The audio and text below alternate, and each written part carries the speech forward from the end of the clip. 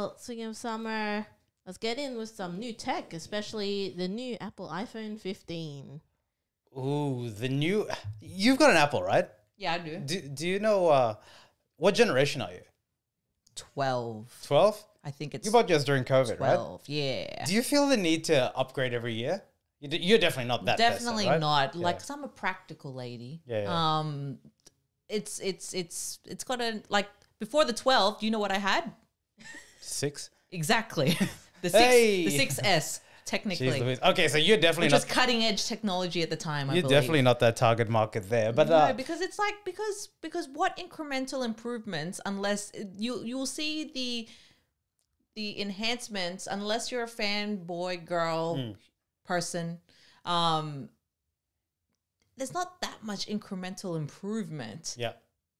like your phone's your phone Exactly. I would say with each new announced iPhone, it, there's just, just getting less and less fanfare. Mm, I think so too. Although I'm telling you what, based on the YouTube vids for the the screenings of new Apple products, that that's not going on. Like that's not going down at all. So and the- maybe the new colors right okay, that's all I care about. The Apple- Apparently, I saw sorry, I saw Laura DIY saying, "Why can't we get the cute colors for like the the high level um you know the high level the, iPhones. the high level model. Since model?" when are colors such a big deal? Don't doesn't everyone put a case on their damn phone? Like you can modify your like. I don't understand why a stock color is a big deal. Anyway, I I personally don't. iPhone 15. Personalization. iPhone bro. 15. All right, there are a whole host of features, but it's actually headlined by the change to USB C. Yes. Wow, cutting edge tech. I think not. I have a bloody Android Samsung that's worth one fifth of your iPhone that had USB C seven years ago. Maybe I'm making that up. But all is to say that this is not cutting edge tech. And they're parading it like it's a big deal or they've done something really big. R.I.P. Cash Cow. That's what I'm thinking it is. It's a bit, they're a bit late to the party on the whole. Well, they're very late to the party. But the thing is, you know, the reason that they uh, have to do, they've, they've been forced by the European Union. They Yes. went when when when. Well, by 2024, We don't like it. Yeah, the European Union said An that. Italian hand. Not, But but but is that also a bit trying to be French? I don't know. yeah. So basically, no, if you don't have USB C for charging before the end of 2024, you can't import into Europe. So they got forced. Meaning that if they, yeah, Mm. if, if they didn't comply, Because it'd be Samsung, right? Otherwise, well, that's sa- the all the- major. all- well, USB C is the major port. I mean, look, that that I that Pro is a USB C. Like it, it's a universal thing, right? Hmm. All Samsungs have it. The Apple laptops have it. So now they're going around parading like they've done something amazingly did like big. By wow, you can use your same you know charger for your uh, your MacBook Pro for your Apple. Bravo! Win I for the mean, marketing team. Jeez Louise. You got to know your value proposition, They're guys. earning their money. I'll give them that. Um, titanium finish. Titanium. Who likes titanium for the really Sia does. Pro Max? Oh my god, that's terrible.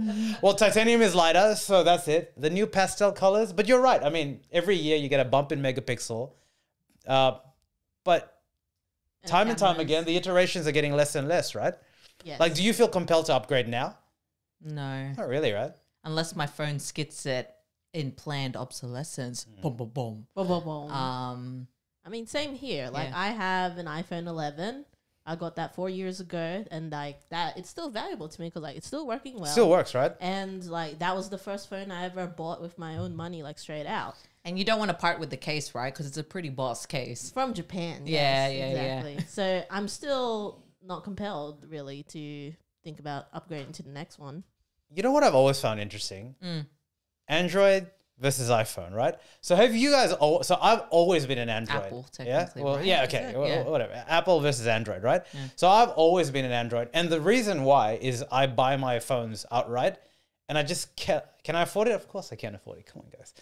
But I just can't justify paying that much for a phone, even though if you think about it, your phone is like your most used tool, right? Like if you divide it like how many hours there, you easily outuse your phone versus anything. But mathematically, I can't compute that personally. But the other thing as well is I've always had this picture in my mind that Apple products, they're beautiful, the interface is great. Mm. I mean, I swear by these Macs, and I was a PC guy for the longest of time until I actually. So my thing is, I'm actually scared to get an Apple because I know that I won't go back. But to that side, were you all? Pride. Well, it's true. That, that that's just me telling you. Clutching you. of just you will not For- get me. For iPhone, were you always an iPhone, or did you guys have Androids before that? no man, Nokia. Yeah, no- Nokia's don't count. Nok- because Nokia's are Androids now, right? Uh, What I did I have? So I had so it was the Nokia. Then I had a BlackBerry because I uh, got it a hand me down from father. Yeah. Yes. Oh no, no, it's, it's not a BlackBerry. Sorry, it was the Nokia version of the BlackBerry. Yeah. I felt so boss then. Um, Man, those how good was Snake? and then Yes. I feel like I'm missing. I feel like I'm missing a gap somewhere because I feel Did you have that Apple iPhone six and then just no. I you definitely had something before I that, definitely right? had something before that. But hold on, I'm gonna throw it way back. Yeah. Way way back before Nokia. You know, Philips used to Yeah, do. yeah, yeah, yeah, yeah. It was a it was a cute little. hey, did any of you have the mouse. razors? No, No, but I wanted it. had the I wanted it so bad. You know what I wanted so bad? The BlackBerry. Oh yeah, those when when they had those QWERTY keyboards there, it was so boss. But then you go back and you think about the evolutions of phones and how was a status symbol to begin with. Remember polyphonic ringtones when you had to like SMS.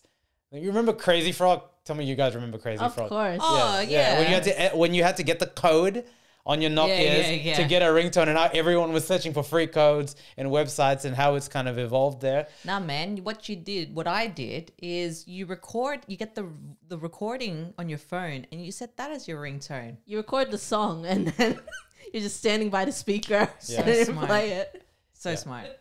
I think yeah, Sixty Nokia sixty one ten. Something the like that. six. I mean, to me, it was the, The three. white se- one. It was a three series, right? And then you went to the. si- I, I can't even remember where the numbers went off. Eighty But yeah, fifty. Uh, I'll just start. I'll just start rambling off you, some numbers. just going and You then can't, you can't get more than 99. anyway, uh, back to iPhone versus Android. I think it's an interesting point now where all these phones are so technologically capable of doing the same thing.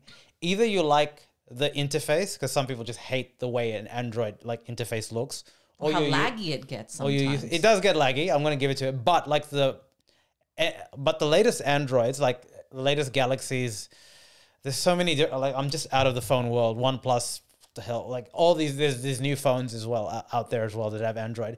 It's definitely more customizable. Uh, it to me they're built a bit better than iPhones. That's not, that's another reason I never got iPhones because I would ru- I would always drop my phone, and I ha- heard horror stories about how like precious the screens are for iPhones. But mm. anyway, I think that you're right. Even even within the Android community, I think there's this inflection point where people still consume. If you look at the major YouTubers, like the tech reviewers, their numbers are still massive in terms of people looking at phone reviews. But I think the phone purchasing rate or upgrade rate is definitely a little bit slower because why? Like if everything you have, how much more megapixel can you possibly squeeze out? Like some of the phones that we have are just as good as like the cameras that we have at the moment. So just it almost doesn't make sense. You know what I will say though, and this is chucking a curveball. Mm. Google's marketing, Google or Yeah. Apple. Google, Mm. For is their phones. is convincing me that I really want that magic eraser. Well, the software is the new ground, right? Yeah, hundred percent. Who cares? What is this magic island? Dude, it's a bloody notch, man. Like Apple, I Oh will no, not no, not the. No, but like, what, what I, mean is the yeah. differentiation points now are the software. Mm. Other software points, and they're showing it more and more Mm-hmm. versus the hardware. Because if you get, cer- I mean, you can only have certain apps, right? Apple apps on Apple, and Apple apps rather were like the the, the benchmark, the benchmark of like aesthetics and utility and all that sort of stuff. But Mm. you have open source developers that are doing that on Android. But I have a theory for a lot of because obviously, if you think of market share, Apple's still by far and away the biggest, right? But not, but not. Not by much, not like but they but they're still be, the market right? leader, Yeah. right? Yes. My theory is the the operating system itch. I think it's a very real thing, and we can use your dad as an example. He had Apple for a long time, right? Yes. And then he had this itch to change to it. And I'm telling you, you have this itch because you're saying technically there there would be a third party app that would do the work of the magic eraser on your iPhone. Technically. But you're getting they're like they're getting to a point where aesthetically the colors, the price point, etc., etc., they definitely give more hardware specs on an Android that people are Android curious or basically moving away from that. Especially like what would the next iteration of an iPhone have to do so different that you'd be like, I have to buy it? I don't know. Clean your clothes. Use it as an iron. Like what? What do you think? Like think think blue sky, because if it goes down the route of upgrading megapixel, you're going from 120 megahertz refresh rate because that's that's the geeky stuff to 200. You don't even who knows? I'm blind. I can't even see in front of me. Like what is it? What does a refresh screen matter? But you know what I mean. Like th- that increment. So what is it going to have to do different for you to say I need it? Be a compass? No. I mean you can get that in Snap. At this point, it just really depends on when uh, my iPhone personally is just going to start kicking the bucket, Yeah. And it's it's But at that point, will you still will you be Android curious? No, I You, don't. you, why I not don't, though? I don't think I'm just I'm not I'm not there yet because still What- loyal in a sense it's loyal like the interface it's it's like of what it- you're used to. what I'm used to Mm. um there could be something there to be honest with when it comes to like the generational change and just wanting to like change things No, you want to. You want to. 100%. Well, it, to me, it's not the generational more as it, it's like hashtag like techno- technology curious, right? Yeah, But yeah, for yeah. example, have you heard of the Nothing phone? So it's it's a it's an Android phone. It's a new phone, right? Um, it's really interesting. Like, uh, check it out. Put it check it out on YouTube. But just think of it as a, a a different type of Android phone. It's an Android phone, open source. It's called the Nothing phone. And it's interesting that the CEO is very he's very young and he goes out on social media a lot, right? Mm. So he has his own YouTube channel for the Nothing phone. Uh, they're like a boutique manufacturer. waiting for the bloody like the, the There is the- no punchline. The, the fact Yeah. of the matter is, he made he did a reaction on the Apple phone, and he so as a CEO, so he's very progressive the way he's marketing. Yeah. he is the marketer, right? It's, it's racking up a lot of views, and he's actually he does reaction videos of tech reviewers reviewing his phone. And what he made a mention and an observation is Yeah. Americans specifically are obsessed over their iPhone. They're brand loyal to like a fault, Yeah. where they can't think of any other phone in their purview. well that's where Apple's from the US right Yeah, it is. So Yeah, yeah. But like he, he's making a, America.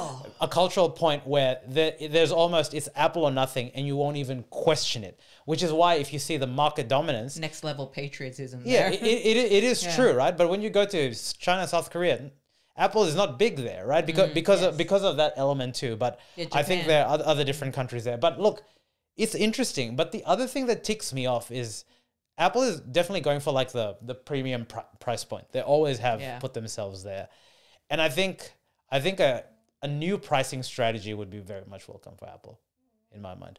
But how? I don't Like, know. I, just don't know. And I just don't see how. I mean, like they have been pushing the whole trading in component Yeah. where Yeah. It, it does work. they do well for students, right? Yeah, it does work, but um, I just don't see that like happening when you have amass that much um brand equity and um you know pushing that threshold. Like maybe it will be interesting to see the uptake on certain models, certain um the add-ons as well because they're they're pumping that out too, right? RIP Lightning cable. Um, but yeah, Let's run with a lightning cable. Remember when we spoke about Qantas, we talked about brands that at certain points they're just too big to fail, right?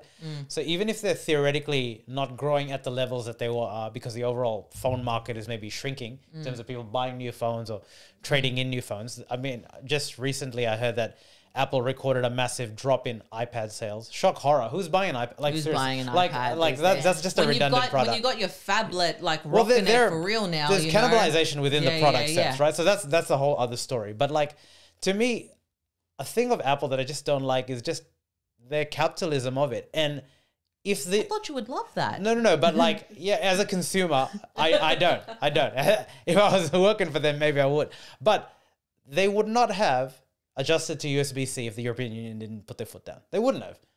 So they make it very difficult to to buy extra add-ons and stuff like that Yeah. for consumers, and they're also shipped for such a premium expensive product. The add-ons that they give stock initially are very poor. Like people are reporting that the initial charging band that they Yeah. give is a very slow one. Like you think you're spending close to two grand in Australia for a titanium iPad. The least you could do is give a, a decent charging cable, right? so Gotta they're very that. stingy on it. It's the cult, maybe. And people are people will people will live and die by it, right? Where they're just Apple for life. Exactly. It's, They've- um, they've, cultivated that following just over the years, and Apple is a concrete. cult. It is a cult. Apple's a definition of a cult. Yes, But you know what? people, people, People people People, gonna cult. People, people- gonna Apple. people gonna Apple.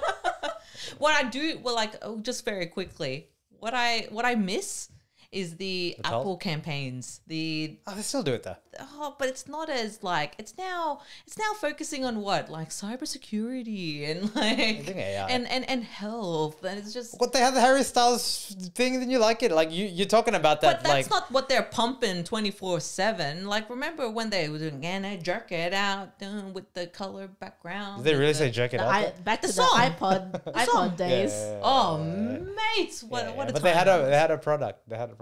Anyway, anyway, what's next? We'll see how we'll see how that goes when the Apple iPhone goes live on September 22. Apparently, we'll see how it goes.